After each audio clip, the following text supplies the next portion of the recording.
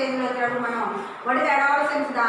Childhood to adulthood is also call అది adolescence అని మనం ఇంకో పాపం డిస్కస్ చేసింది. అది age of the eleven to nineteen years అని డిస్కస్ చే thirteen to eleven to nineteen years అని డిస్కస్ చేయడం జరిగింది. Okay this is the adolescence stage adolescence స్టేజ్లో వచ్చేటప్పటికి క్లియర్స్గా ఉండటం అనేది జరుగుతుంది. పేరెంట్స్ ఎక్కువగా స్పెండ్ చేయకుండా ఎక్కువ ఫ్రెండ్స్తో స్పెండ్ చేయడం లోన్లీగా ఉండడం ఎక్కువగా ఫేస్ చేయడం మేకప్లు వేయడం ఎక్కువ పింపుల్స్ రావడం ఇవన్నీ కూడా మన అడాల్సెన్స్ స్టేజ్లో వచ్చేటువంటి character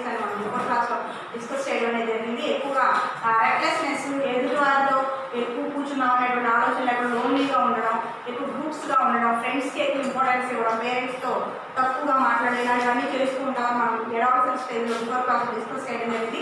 Today increasing the height height అనేది ఎలా ఇంక్రీజ్ అవుతుందో ఒకసారి డిస్కస్ చేయాలి okay growth is one of the important characteristic in human beings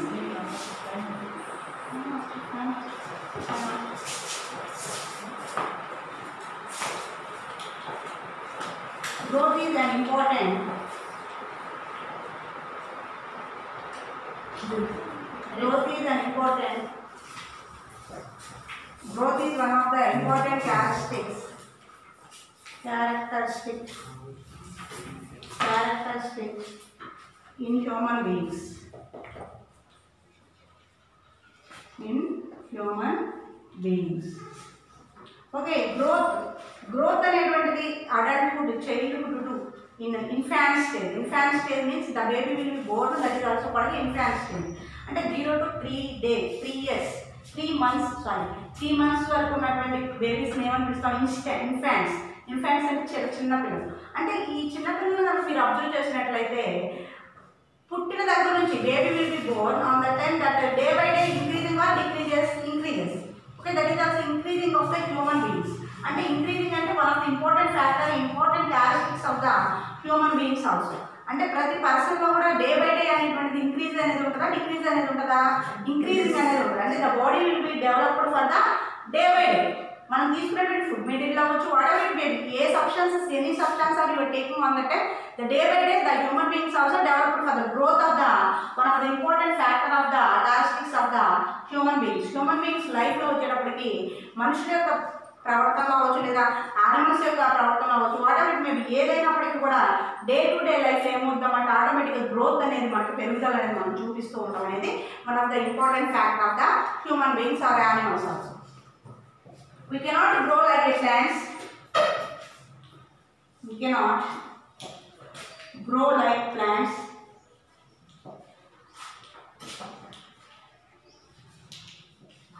You grow certain height for certain period only. will grow certain height,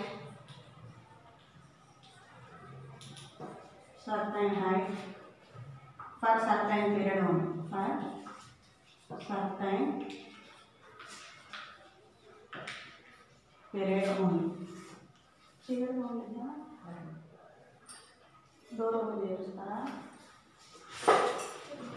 video క్లియర్గా ఉంది. చూడండి క్లియర్గా ఉంది. We grow we cannot grow like plants plants కనుక చూస్తే అవి కంటిన్యూస్గా growth అవుతూనే ఉంటాయి. పెరుగుదల అనేది చూపిస్తూనే ఉంటాయి ప్లాంట్స్ అనేది అదే కనుక we grow certain height for certain period ఉంది. Who are the certain period only stop for the certain period certain particular period వచ్చేటప్పటికి ఎవరిని చెప్పుకోవచ్చు మనము అంటే హ్యూమన్ బీయింగ్స్ హ్యూమన్ బీయింగ్స్ ఏం చేస్తూ ఉంటాం? ఆల్వేస్ గ్రోత్ అవుతూనే ఉంటామా this like moving but this like not grow up అంటే టాల్ అనేది మనం పెరగం సైడ్స్ అనేది వస్తూ ఉంటుంది కానీ హైట్ అనేది పెరగడం అనేది చాలా కష్టం. సమ్ పర్టికులర్ పీరియడ్ వరకు మాత్రం మనం హైట్ అనేది పెరుగుదల అనేది చూప చూపించడం అనేది జరుగుతుంది. హ్యూమన్ బీయింగ్స్లో వచ్చేటప్పుడు okay next this change takes place in adolescence అయితే ఈ చేంజెస్ అనేవి దేనిలో జరుగుతాయి? Adolescence this changes you know, adolescence. Adolescent stage. These changes occurs in a adolescent stage. Adolescent stage లో మనకి ఈ చేంజెస్ అనేవి జరుగుతూ ఉండడం అనేది జరుగుతుంది.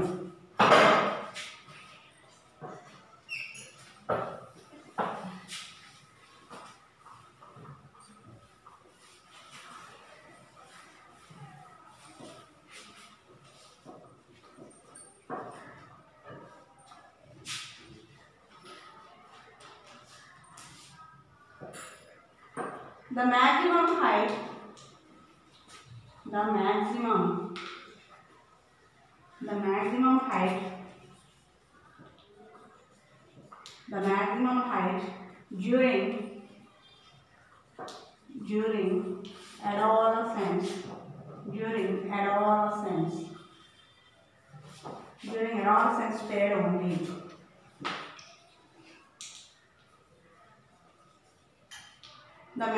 height during adolescence period only అంటే మ్యాక్సిమం హైట్ అనేది ఎప్పుడు పర్సన్స్ హ్యూమన్ బీయింగ్స్లో చెప్పి మ్యాన్ అండ్ ఉమెన్ అనేవాళ్ళు ఎప్పుడు గ్రో అవుతూ ఉంటారంటే అడాలసెన్స్ స్టేజ్లో గ్రోత్ అనేది బాగా ఉంటుంది. అంటే లెవెన్ టు నైన్టీన్ ఇయర్స్ మధ్యలో వచ్చేటికి మేల్ అవ్వచ్చు ఫిమేల్ అవ్వచ్చు. గర్ల్స్ అవ్వచ్చు బాయ్స్ అవ్వచ్చు గ్రోత్ అనేది బాగా పెరుగుదల అనేది జరుగుతుంది.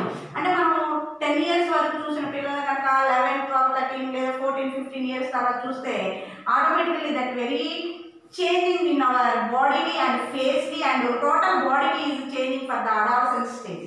అంటే adolescent stage వచ్చేటికి person will be changing a particular period ఆ పీరియడ్లో మాత్రమే వాళ్ళు గ్రోత్ అనేది బాగా చూపించడం అనేది జరుగుతుంది. Okay understand next one growing taller నా adolescence they have a lot of stress growing taller now adolescent stage growing taller now at the adolescent stage they have a lot of stress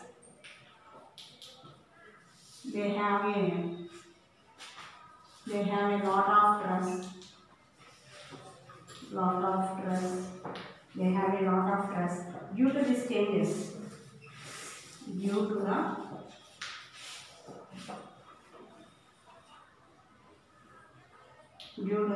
changes. They have a lot of stress due to the changes. అయితే growing taller in adolescent stage. Adolescent stage లో person will be changing in a growing.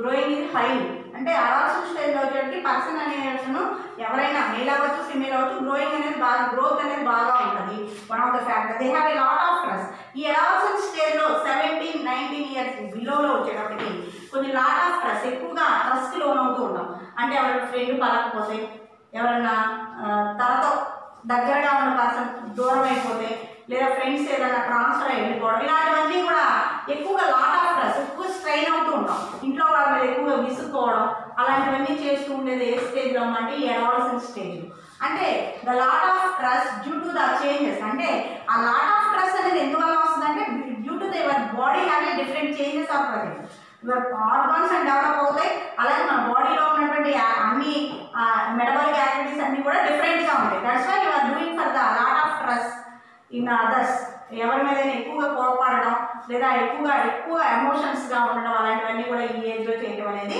జరుగుతుంది. Okay to decided the to decide and they belong to adulthood to childhood this period of a confusion and transmission to decided to the decided to the who decided to the belong to belong to adulthood to adulthood to childhood adulthood to childhood this is the this is the period of a period of a confusion, confusion and transmission, transition. And transition. అంటే to decided to the belong to the adulthood to childhood this is period of a confusion ఆ stage ఏమనిపిస్తారు అంటే అడాల్సన్ stage confusion లేదా transmission అనేటువంటి పేరుతో పిలవడం అనేది జరుగుతుంది. అడాల్సన్ స్టేజ్లో చేంజెస్ అనేవి ఎలా జరుగుతాయి అంటే మనం మనం మనందరికి మనం నిర్ణయం అనేది తీసుకోకుండా డిపెండింగ్ ఆన్ అదర్స్ అలా కన్ఫ్యూజన్ అవ్వడం ఎక్కువగా థింక్ చేయడం ట్రస్ట్ అవ్వడం ఇవన్నీ కూడా మనకి అడాల్సన్ స్టేజ్లో జరగడం అనేది జరుగుతుంది. నెక్స్ట్ ఇక్కడ observing growth rate growth rate growth rate అనేది ఎలా ఉంటుందో చూద్దాం.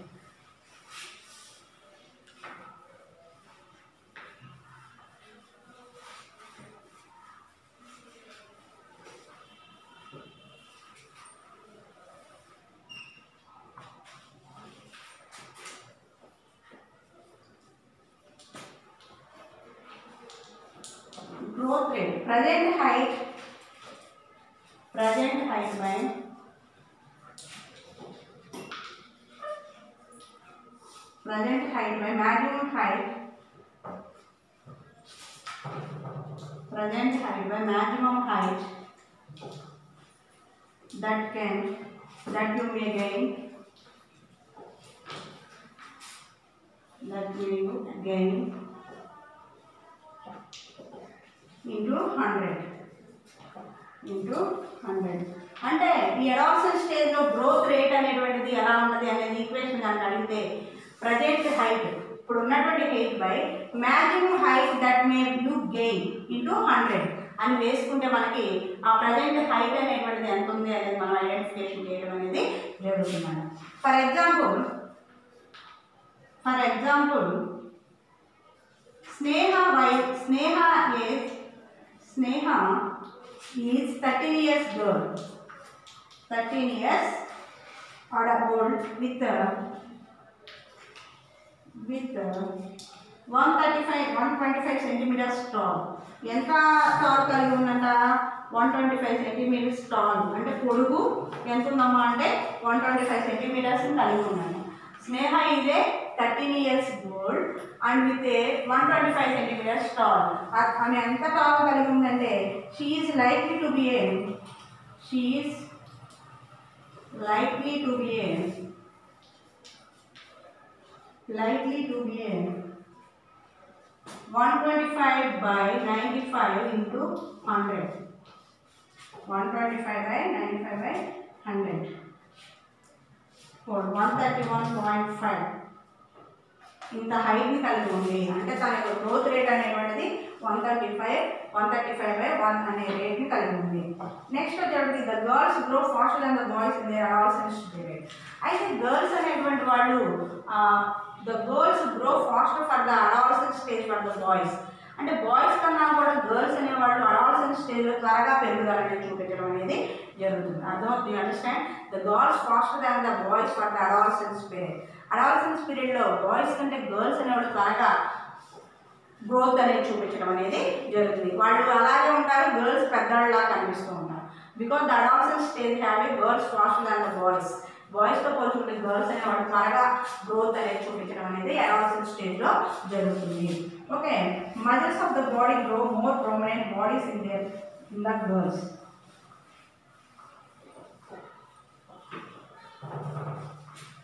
muscles ఈ కండరాల యొక్క పెరుగుదల కావచ్చు. లేకపోతే muscles of the body grow muscles of the body grow muscles of the body grow more prominent, more prominent, more prominent, prominent in boys, in boys, in boys than the girls, than the girls. Muscles of the body grow more prominent in boys than the girls. గర్ల్స్తో మనం పోల్చుకుంటే బాయ్స్తో మనం పోల్చుకుంటే muscles యొక్క prominent అనేటువంటి grow అనేది కూడా girls ఎక్కువగా పెరుగుదలని చూపించడం అనేది జరుగుతుంది స్టేజ్ నెక్స్ట్ వచ్చేసి the changes occurring in adolescence boys and girls are different అయితే ఈ changes occurs the changes occurs in occurs in boys and girls boys and girls adolescent స్టేజ్లో బాయ్స్ అండ్ గర్ల్స్లో చేంజెస్ అనేవి డిఫరెంట్గా ఉండడం అనేది జరుగుతుంది. ఎలాంటి డిఫరెన్స్ అంటే voice changes voice change voice change ఈ వాయిస్ చేంజ్ అనేటువంటిది గర్ల్స్లో ఉండదు బాయ్స్లో చేంజ్ అవుతుంది అర్థమవుతుందా? ఈ వాయిస్ చేంజెస్ అనేది ఎలా ఉంటుంది? అప్పటి వరకు చాలా స్మూత్గా ఉంటుంది. వాయిస్ వాయిస్ అనేటువంటిది. ఎలా బిగ్గరగా అంటే అరిచినట్లుగా అనిపిస్తూ ఉండదు. బొంగురు పోయిన గొంతులాగా అనిపిస్తూ ఉంటుంది అంటే అడాల్సిన స్టేజ్లో బాయ్స్లో వచ్చేటికి చేంజెస్ అనేవి డిఫరెంట్గా ఉంటాయి. గర్ల్స్లో డిఫరెంట్గా ఉంటాయి బాయ్స్లో డిఫరెంట్గా ఉంటాయి. అండ్ బాయ్స్లో వచ్చేటప్పుడు వాయిస్ చేంజ్ అనేది one of the important factor అంటే బాయ్స్లో వచ్చేటప్పుడు వాయిస్ చేంజ్ అనేది డిఫరెంట్గా ఉంటుంది. ఆ డిఫరెంట్గా ఉండేది ఏంటో generally change in voice is seen during adolescence ఈ మనం ఈ జనరల్గా వాయిస్ చేంజెస్ అనేవి ఏ స్టేజ్లో చూస్తాం? అడాల్సన్ స్టేజ్లో చూస్తాం. అడాల్సన్ స్టేజ్లో ఏమవుతుంది? లెవెన్ టు నైన్టీన్ ఇయర్స్ ఈ ఏజ్లో ఏంటి? వాయిస్ అనేది బిగ్గరగా రావడం అనేది జరుగుతూ ఉంటుంది. Next the voice is voice become harsh in this stage ఈ వాయిస్ వచ్చేప్పటికి the voice is the voice of boys becomes becomes harsh in this stage. Harsh in this stage. Harsh in this stage. ఈ స్టేజ్లో boys యొక్క గొంతు అనేది బొంగురు పోయినట్లుగా బిగ్గరగా ఉన్నట్లుగా ఉండడం అనేది జరుగుతుంది నెక్స్ట్ ఎడమ్ శాఖ ఈ ఎడమ్ శాఖల గురించి చదువుకుంటే మనకి ఈ వాయిస్ ఎలా ఉంది అనేది వాయిస్లో వాయిస్ అనేది ఎలా ఉన్నది అనేది మనకి identification Adam's apple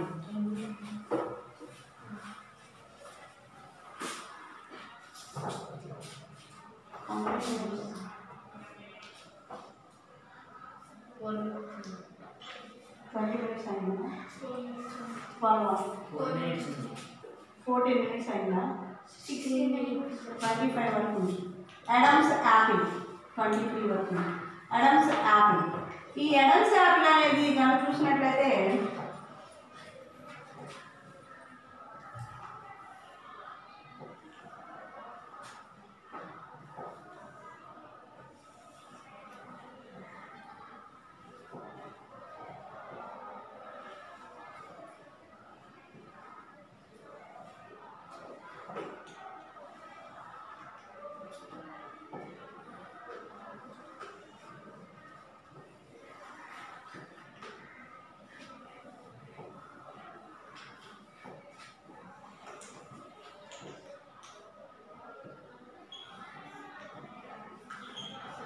This is the Adam's apple. Okay, the girls faster than the boys. Okay, Adam's apple. Some projections are some projections are some projections are present in the boy's throat.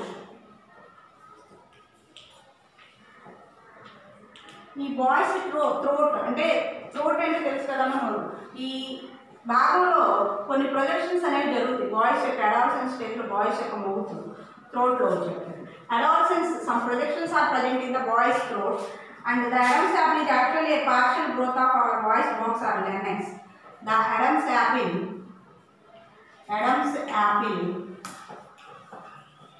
is partially the Adam's apple in partially actually partial growth